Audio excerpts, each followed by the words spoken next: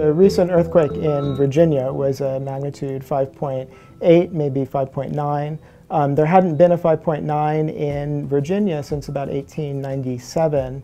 Um, there had been one near Blacksburg, so there definitely are large earthquakes here. They only happen maybe once every few decades to once every 100 years. Um, there have been earthquakes up to probably magnitude 7 uh, maybe 7.2 that have happened in um, one in, in, North Carolina in the 1800s and two in Missouri in the 1800s, um, as well as some other moderate-sized earthquakes throughout the, um, the East Coast in the last hundred years. So they're not necessarily increasing, they only tend to happen maybe once a lifetime.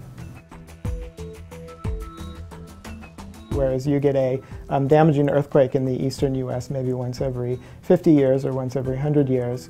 Um, you get damaging hurricanes hitting the Gulf Coast and East Coast um, maybe once every five years, um, if not more frequently in some places. In the past, the only way that we had records of a hurricane was if it actually hit the shore or if a ship drove through the hurricane. With satellite imaging, we're able to um, detect every hurricane um, that has occurred. So if you look at just the total number of hurricanes in the hurricane database, that has increased, although if you do correct for uh, modern instrumentation, it doesn't actually look like the number of hurricanes have increased through time. There are some indications that, they beca that they're becoming more powerful, um, although there hasn't been any support that the actual number has been increasing.